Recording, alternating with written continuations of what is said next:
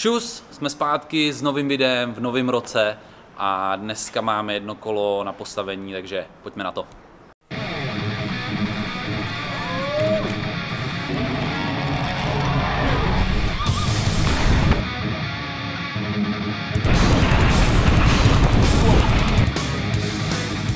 Oh man, Jakob Wenzel!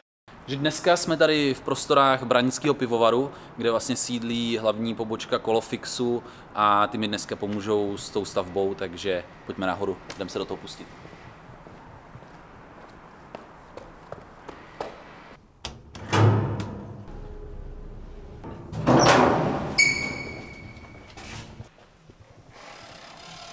OK, takže dneska uh, to bude stavba, nebo taková spíš možná přestavba mýho klasického freeridového kola, to znamená Rose Soulfire. Uh, a já vlastně letos celkově plánuji jezdit uh, trošku víc na tom velkém kole a teďka v následujících týdnech mi čekají nějaké věci na tom, takže jsem si říkal, že by bylo dobré postavit kolo, který bude trošku čerstvější než to, co jsem měl předtím. To kolo bude stavit Matěj, takže já tady budu dneska jen tak na to dohlížet, bych řekl, takže jdem se do toho pustit.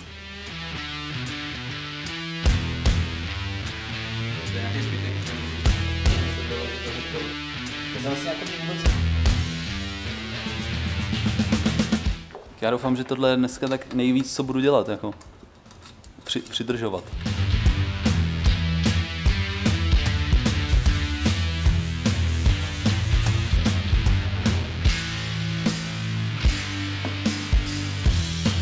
jednou z takových novinek, kterou mám teďka na tomhle tom kole, i přesto, že to je jeden z dílů, který jsou vlastně už použitý, je teda vidlice, což je nový model od RST, který se jmenuje Stitch 29, je to teda na 29 kolo, já tam vozím 27, ale největší vlastně rozdíl je ten, že to má 38 nohy, což je takový ten trend, který eh, dneska má spoustu značek, takže širší nohy a ta vidle je super tuhá. Vlastně jsem ji tam dával těsně předtím, než jsem jel na Zéland, takže jsem na ní najezdil pár dní, takže tu samozřejmě nebudeme měnit, ta tam, ta tam zůstane.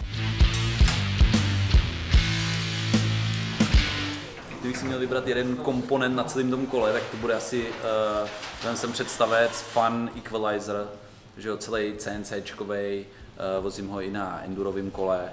35 dlouhý, uh, 35 průměr řidítek, lehoučkej a podle mě designově jako naprostá bomba.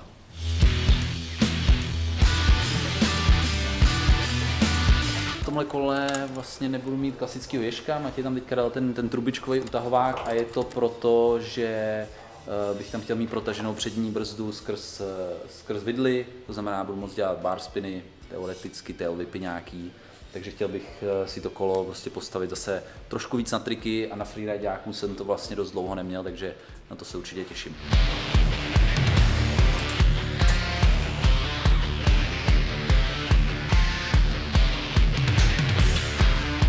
Takže co se týče kokpitu, tak ten je samozřejmě celý v režii fanu. Eh, tentokrát jsem zvolil řídítka full on, eh, který ještě potom budeme trochu zkracovat.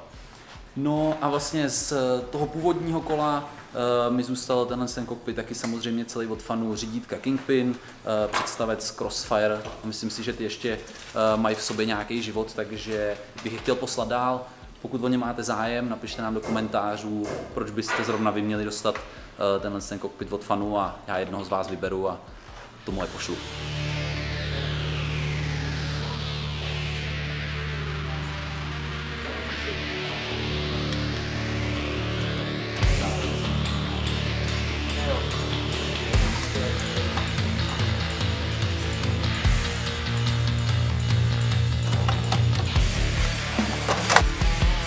No tak už eh, to pomalu začíná vypadat jako kolo. Další věc budou kliky.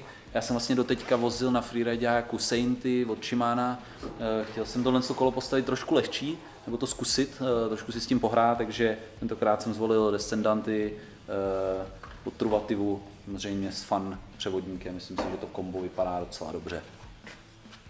Prosím.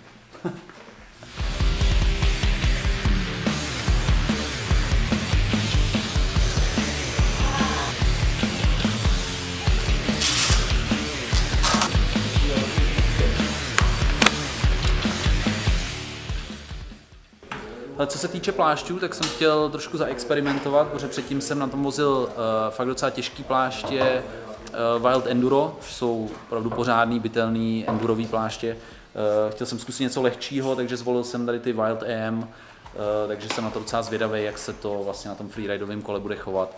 Ale je pravda, že já na tom pořád jezdím hlavně uh, skákavý traily skoky, takže uh, věřím tomu, že tohle by mohla být docela dobrá volba na to.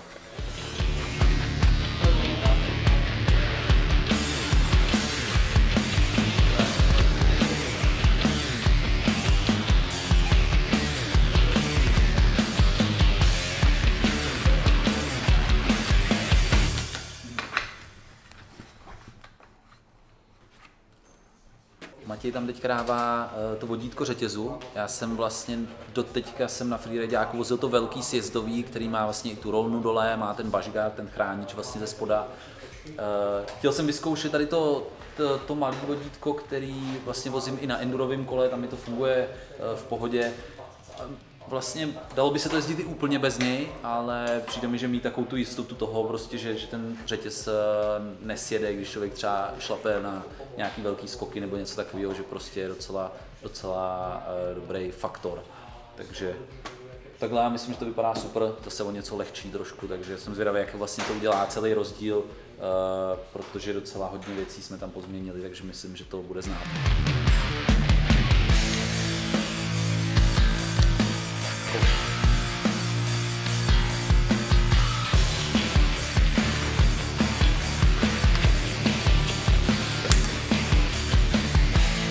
Co se týče převodů, tak tady samozřejmě single speed, jenom jeden převod, žádný řazení. Eh, jedna věc je, že je to mnohem jednodušší a na tomhle tom freeridovém kole už se mi to hodně osvědčilo, protože nejezdím na tom žádný závody na čas, eh, většinou jezdím stejně nějaký skákavý traily, kde prostě člověk nepotřebuje řadit a samozřejmě další věc je, že je to zase o něco lehčí.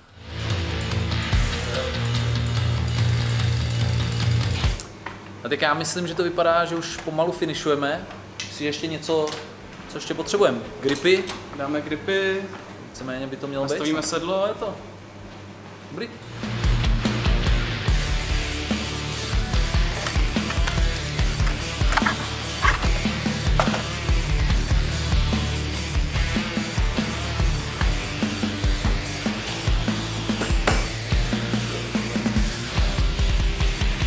Ještě dodělám brzdy donastavím a víceméně máme asi hotovo.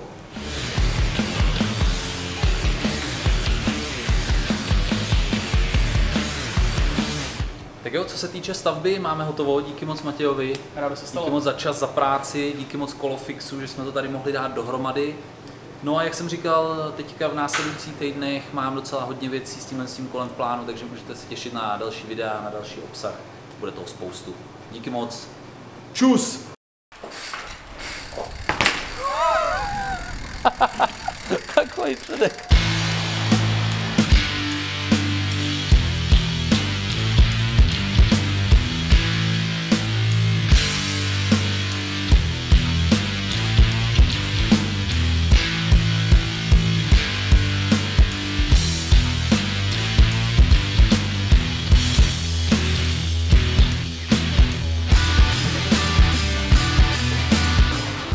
Tak jo, to už je opravdu úplně všechno z prvního videa letošního roku. Eh, a jak jsem říkal, můžete se těšit na další videa na tomhle novém freerideáku teď v následujících týdnech. Tak jo, to je úplně všechno. Doufám, že vás to bavilo. Mějte se pěkně a čus!